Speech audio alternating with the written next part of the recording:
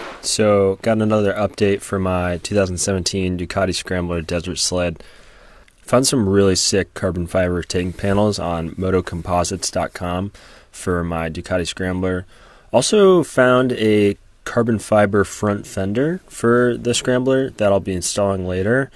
But for now, we're going to be installing these new side panels onto my tank and replacing the aluminum side panels.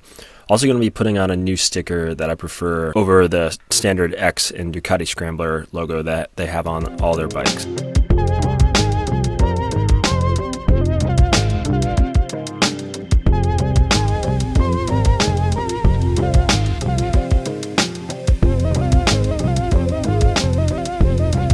So yeah, I'm mostly just using a blow dryer and some floss to take these stickers off just because I want to be using these stickers, you know, to put on like my beer fridge and uh, just to use as stickers in other places as well. So take however much care you want to be taking these off. I found it's easy to use a floss to take it off with the blow dryer.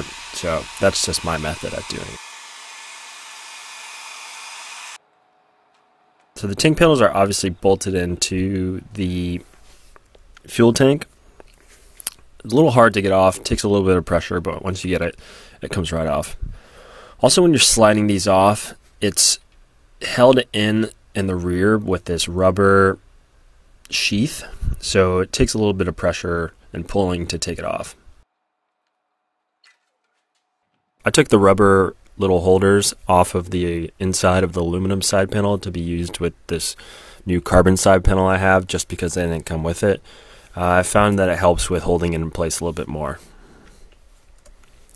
So yeah, just going to do the same thing for the other side. Now that I have a little method down, it went a little bit quicker. Overall, this whole process probably took me about an hour just because I wanted to make sure I wasn't going too fast or stripping any bolts and, you know, messing up the carbon fiber. But it's a really quick and easy job, and I think it really enhances the look of the scrambler and it just gives it a little bit more of a personal touch and makes the bike a little bit more representative of the type of rider I am.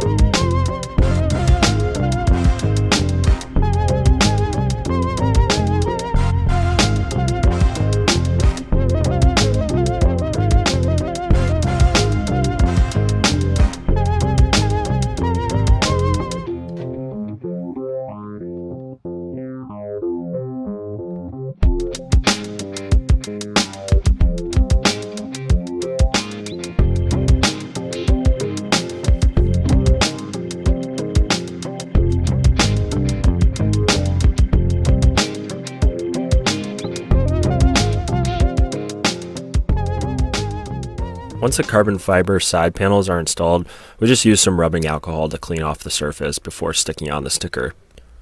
So I got my Ducati sticker from motowheels.com and they do have a plethora of du- older Ducati stickers that, that are for sale on their website. So if you're looking to get the same one as I did or find what else they have in stock, I'd recommend to go over there. Again, it's motowheels.com. So yeah, I decided to leave the nut uh, open. Obviously, the sticker is just uh, an outline of the Ducati name, and we're putting it on the lower just because it looks a lot much better rather than placing it around that nut. I might try and paint that nut black at some point, but also later down the road, I'll be replacing the white tank with a black tank, just trying to make this bike a little bit more darker and minimalist in my eyes. So, yeah, obviously it came out looking really nice really happy with how it came out and uh, looking forward to some more uh, updates to this bike. Stay tuned